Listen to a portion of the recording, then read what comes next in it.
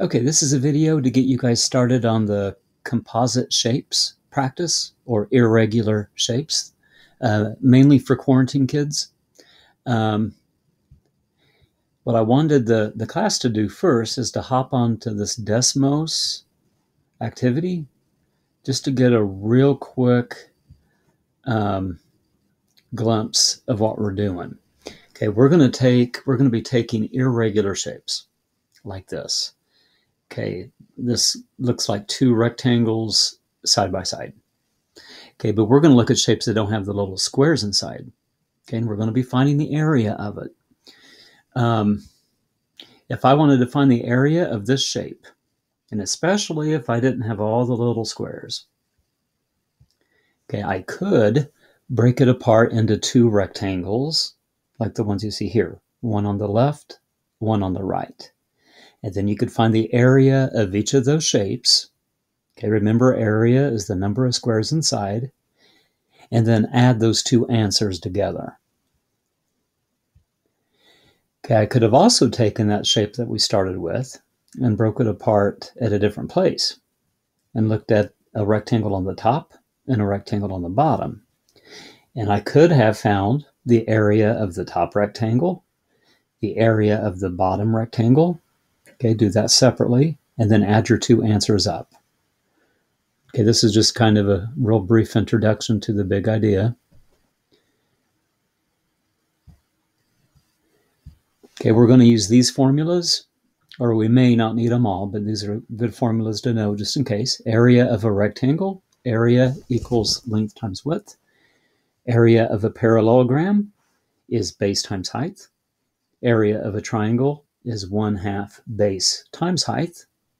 Area of a trapezoid is 1 half times adding both of the bases up, because there's two bases in a trapezoid, times the height. Okay, let's do a problem or two together. Okay, this is a, an irregular shape. Um, I want to find the area of the whole thing. Uh, they already uh, have it had it divided up into two shapes with one on top, one on the bottom. Okay, now we could have made the division uh, piece right here. We could have divided it up with the rectangle on the right and the rectangle on the left. Okay, but that's just the way they did it on this problem. So we could find the area of shape A, shape B, and then add the two answers up. Okay, so the area of shape A. Okay, this is a rectangle length times width would give me the area. So 10 times 2 equals 20 centimeters squared. You want to try to do the little square um, on your centimeters, it's control period. Okay, the area of shape B. Okay, again, it's a rectangle, length times width. So we would take 7 times 4, which is 28 centimeters squared. Okay, so if you want the total area, you would just add both of those up. You would add 20, because there's 20 little squares. Think of it this way. There's 20 little squares inside the first shape. And there's 28 little squares inside the second shape. Okay, so altogether, there'd be 20 plus 28 little squares inside altogether. So it'd be 48 centimeters squared. Okay, so there's a good example. Let's look at one more together with a triangle. Okay, we have two shapes connected together. We have a rectangle on the bottom, and we have a triangle on top. So let's think of shape A as being the rectangle. Okay, we can find the area of each shape and then add the two answers up. So the area of that rectangle on the bottom, length times width. Okay, that's 24 times 8. Okay, 24 times 8. I don't care if you use a calculator for this particular assignment. I'm doing that myself. I'm getting 192 feet squared.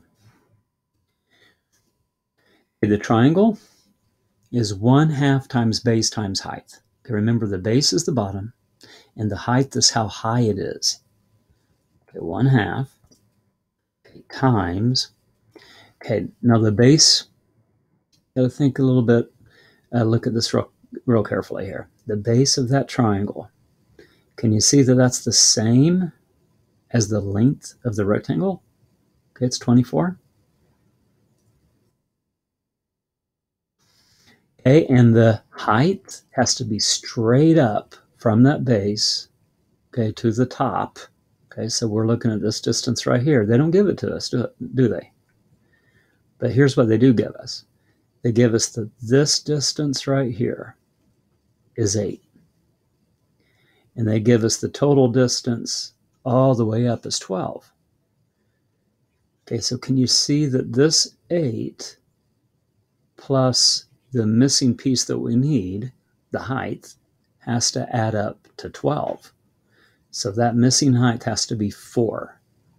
Okay, because this 4 combined with this 8 would give me that 12. Okay, you had to, had to think about that. So 1 half times 24 times 4. The height would be 4. Okay, when you multiply left to right, if it was me, 1 half times 24, I would think of that as 1 half of 24. And 1 half of 24 is 12. And then if I multiply 12 by 4, I get 48. So 48 feet squared.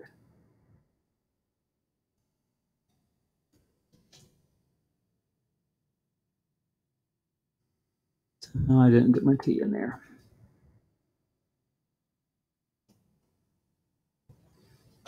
Okay, so there are 192 little squares inside this rectangle. We got that by, by taking length times width. There's 48 little squares inside that triangle. Okay, now if I want to know the total area, I want the total amount of squares. Okay, so I need to add up the 192 squares in the rectangle to the 48 little squares inside the triangle